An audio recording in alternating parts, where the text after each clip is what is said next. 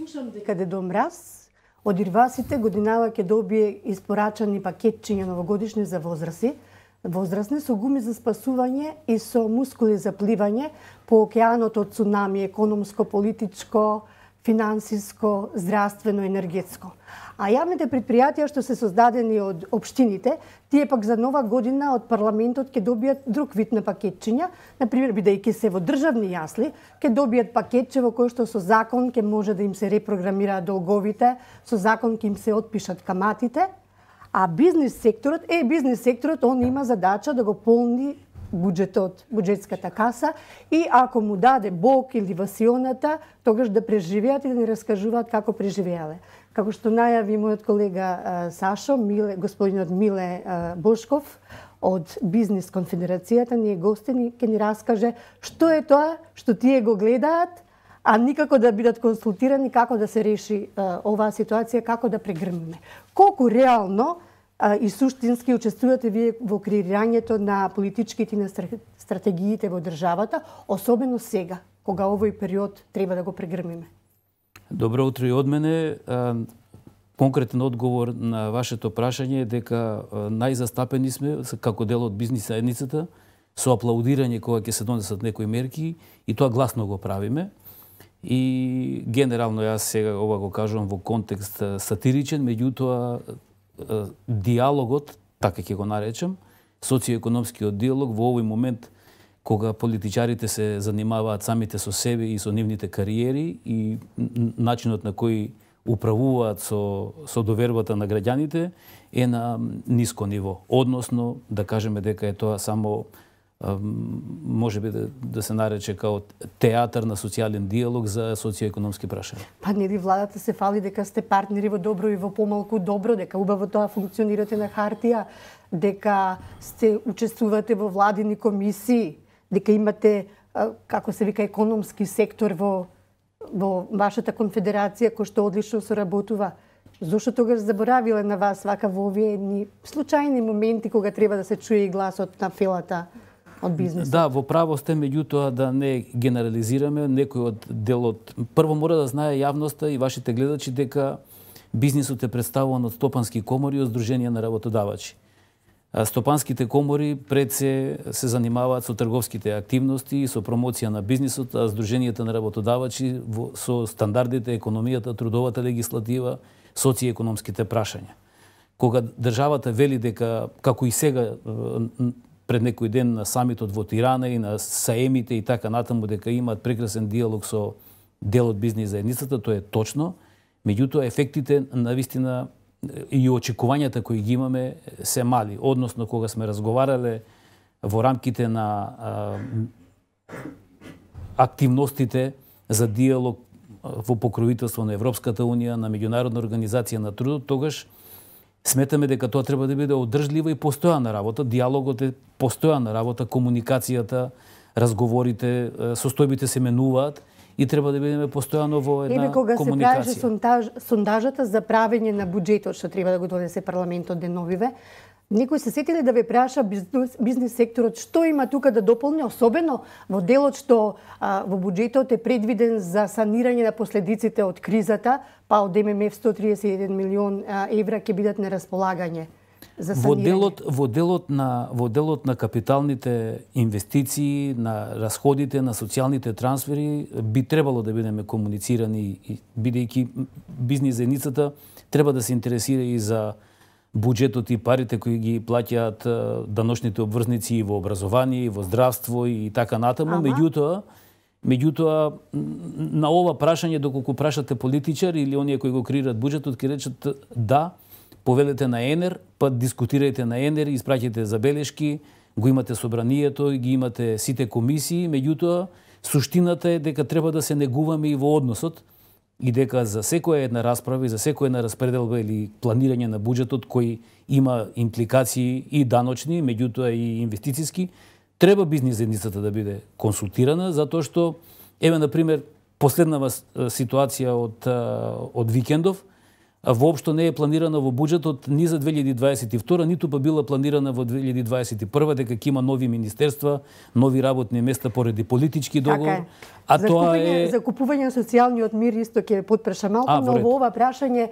а, сакам да го а, вкалкулир, вкалкулирате и оној дел. Кога веќе се бара реципроцитет а, тогаш и вие може да им испорачате онлайн на а, државата да испорачате фискална а, фискална лојалност. Така на слика на хартија убаво ќе биде тоа да го да се види.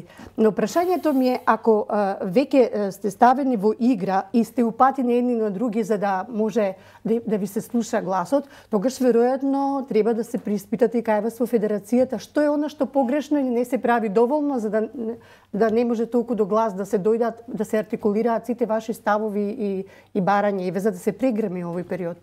Знаете во сериозните демократски обштества, каде што постои диалогот за, за време на избори или за време на креирање сериозни реформски активности се разговара директно со, со стопанските комори и Сдруженијата на работодавачи. А од друга страна, а, можам да кажам дека на некој начин тоа недостасува во, во, во нашата земја и исклучиво заради она, како што кажав и предходно, фокусот фокусот на на на политиката сама за себе, а не на на општеството. Меѓутоа да не бидеме премногу е, критични само како работодавачи, најавен е протестот на 12 декември на синдикатите и тука покажува дека и тие се работ, работниците, представниците на работниците се незадоволни од е, така. политичкиот За да го контекст. купи социјалниот мир, владата најави зголемување на прагот на минималната плата од 3000 денари, што ќе рече 300 евра би требало да добиваат работниците. Вие колку што знам, не се согласувате со тоа. Ние ние заедно со Занечиската комора испративме апел и допис до владата дека би можеле да бидат микромалите и средните предпријатија дека би може да бидат субвенционирани за за тој износ и социјалните придонеси и и разликата од 15.200 до 18 1000 денари. Чекаме одговор да видиме и чекаме реакција дали тоа ќе се случи. Од друга страна, купувањето на социјален мир, за жал, треба политичарите да сватат дека не е само низ пари.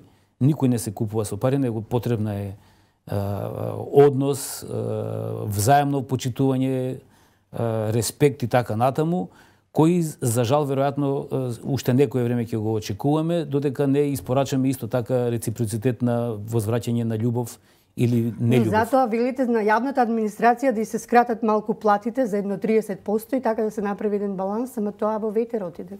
Па добро, ние секогаш мислиме дека намалувањето јавната администрација е дел од реформските мерки за заштита на буџетот и заштита на доношните пари Меѓутоа, за возврат добивме, нели, како што најавивте вие, од Финска уште едно министерство и неколку директорски позиции, веројатно тие ќе бидат значи, најважните. Дефинитивно ќе нема шанса да се чепне јавната администрација затоа што еве новиот партнер во во владата алтернатива ќе си има и министерство едно ќе биде за за а, диаспората, најавите се дека е можно да се формира министерство за бизнис, не знам што ќе работите вие со тоа министерство, какви ќе бидат релациите, и отпаѓа значи варијантата дека а, нема да се креираат нови работни места и нема да се задолжува буџетот.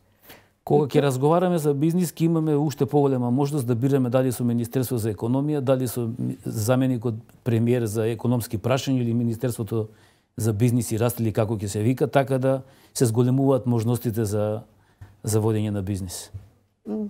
Се извинувам, ово е нели иронично. Пса, имате право на ваш став. Таман така, работа, ако не ви го имаме да бираме. слушаме ставот. Добро, вие а, државата ги замрзна цените на основните артикли, така вели ќе биде до крајот на јануари. А, тоа е за доцнето, таман на време, ќе реши тоа, работи во санација на на економијата. Тоа е задоцнето ако го се договориле во недела, а ние очекувавме се договорат во сабота повторно без бизнис заедницата, така да од ова е сериозен апел дека креирањето на цените во слободна пазарна економија, потенциран во слободна пазарна економија, дека тоа треба се случува исклучиво по договор со во бизнисот помеѓу себе и потоа со Како домино ефект понатаму би можел тој да придонесе. Еве сега пак изгледа убаво изради а, чување на социјалниот мир, па и за празниците малку граѓаните да се да се подсмират, меѓутоа тоа поднатаму во годината низ какви може овај турбуленции да, да повлече? Па, знаете, оние пам, паметни компании, баш така ќе наречем, дека тие ресурсите ќе ги зачуваат и ќе ги чуваат за да може да бидат одржливи на, на долг рок, бидејќи она што ќе го потрошат сега со загарантирана или замрзната цена во овој момент, кога е зголемена широката потрошувачка, тоа не ќе може да го остварат, ниту пак да го реинвестираат во следниот квартал од 2022 година. Така да тоа е едната варијанта дека тие умните ќе ги чуваат ресурсите, од друга страна може да дојде до ценовни шокови во следниот период и нормално дел од компаниите воопшто да не може да пливаат во која ликвидно. сфера тие ценовни шокови?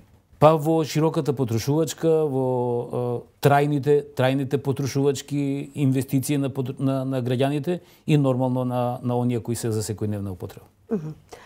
А, има и некоја полза од тоа што блокирано е собранието, па блокирани се закони, зборам полза во наводници, затоа што многу закони од економскиот од економската сфера се стојат така и чекаат подобри времења.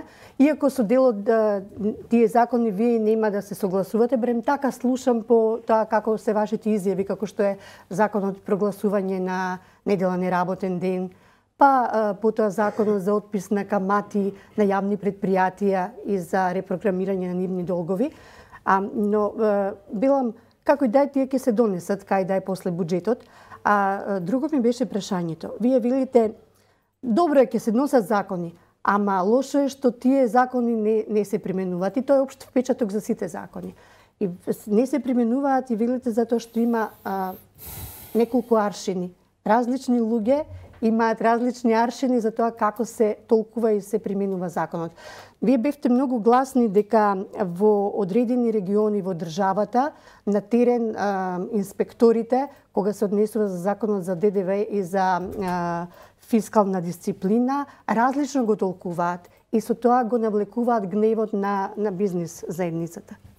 Па пред се Во овој изминат период направивме посета на 15 регионални занечиски комори и ја среќававме и бизнис заедницата и на вистина има различно толкување и различна примена не само на законот за финансиска дисциплина ДДВ, туку и од трудовата легислатива, од пазарната иницијатива и така натаму. Тие закони мора да бидат усогласени и усогласено толкувани од различни инспектори во различни региони.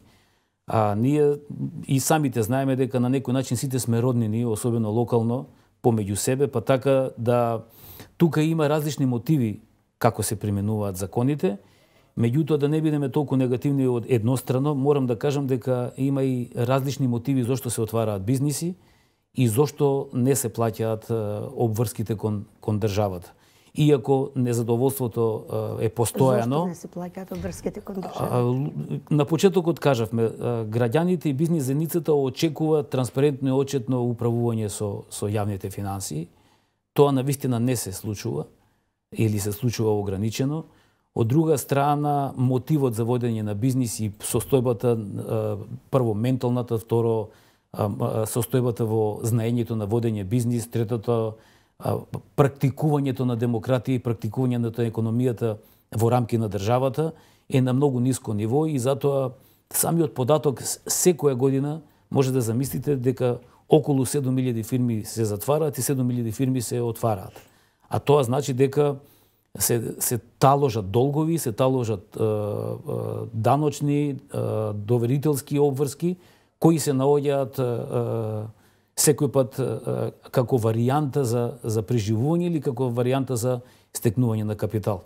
И тука, тука би, би посочил дека конечно Министерството за економија и начинот и, и формата за регистрирање на бизнис и друштвата со ограничени одговорност и така натаму дека треба да, да подлежат на малце поголема одговорност. Но тие ваши забелешки или поинакви интерпретации можете сепак и да ги остварите. Не знам дали некој ви спомнал дека имате можност преку анкетни комисии во собранието, преку лоби, групи во претениците или пак и вие на, на, на ваше барање може да се отворат тие прашања, да се кажете тука што ве мачи и што каква визија имате вие да се поправи тоа. Точно во право сме да не биде е, целата оваа критика или апели е, насочена кон владата и централната власт. Ја би сакал да кажам дека и а, собранието и претениците би требало да бидат вклучени во сите, во целото лобирање за донесување на подобро социоекономско опружување.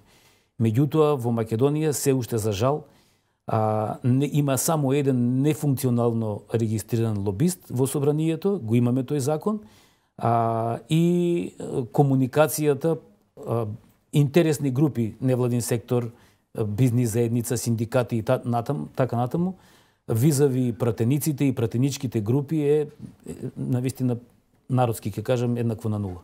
Кога би ве прашале, а не ве прашуваат, видите, во делот на креирање на законите, што имате вие да им кажете на парламентарците, кој закон би бил ургентен да се донесе сега за за овој момент за бизнес елитата и наопшто Оно што е во наша сфера во овој момент е законот за работни односи кој ние апелираме дека мора да биде а, флексибилен и дека регистрацијата на работното време на работниците мора да биде а, флексибилно. Од друга страна, а, безбеднота и здравјето при работа, особено на овие нестандардни форми а, на вработување, а, исто така треба да биде а, првичен домен и нормално социјекономските социјекономските закони кои директно ќе влијаат на на ослободување на пазарната економија. Искуството од соседството со вашите колеги зборуваат дека многу не се разликуваме ние таму. Па да, предмалку гледавме на, на вашата телевизија дека воопшто не се консултира ни граѓанскиот ни бизнис секторот во однос на инвестиции кои директно ќе влијат негативно на, и на животната средина, меѓутоа и на економијата, а воопшто не се размислува како стратешки ќе вли, влијат а, а, врз а, останатата бизнис заедница, зборувам за Србија. Од друга страна, исто така, а, веројатно тоа е во, во политичката ментална култура на Балканот, на политичарите на, на Балканот, да се занимаваат пред се самите со себе, а потоа со поврзувањето, со олеснувањето, овозможувањето на, на можности за лесен проток на комуникација, трговија, култура, образование и така натаму. Ова тема нема крај, особено што не е битна нам, на граѓаните, битна ви е вам на, на е, економскиот сектор во државата, на бизнес секторот, а битна и на државата. Ви благодарам за тоа што бевте гостин во брифинг.